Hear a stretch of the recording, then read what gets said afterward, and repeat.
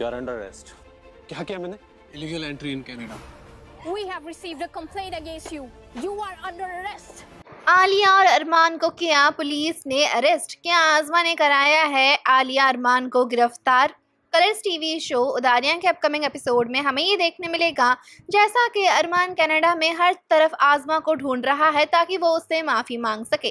वहीं दूसरी तरफ़ आलिया के सामने अपनी नकली माँ हरलीन का सारा सच आ चुका है, जिसके बाद आलिया टूट चुकी है।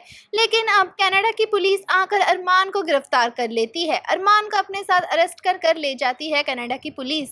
साथ ही साथ आलिया को भी पुलिस जाकर गिरफ़्तार कर लेती है और अरेस्ट करके आलिया को अपने साथ ले जाती है। जब आलिया और अरमान पुलिस से रीज़न पूछते हैं कि आखिरकार उन्हें अरेस्ट क्यों किया जा रहा है तो कनाडा की पुलिस उन्हें ये बोलती है कि उन लोगों ने कनाडा में इलीगल तरीके से एंट्री ली है, जिसके चलते अब अरमान और आलिया को जाना होगा जेल। क्या यह है आजमा की कोई नई चाल ताकि वो ले सके अरमान आलिया से बदला? जानने के लिए जुड़े रहें हमारे साथ और हमारे चैनल को सब्सक्राइब करना ना भूलें।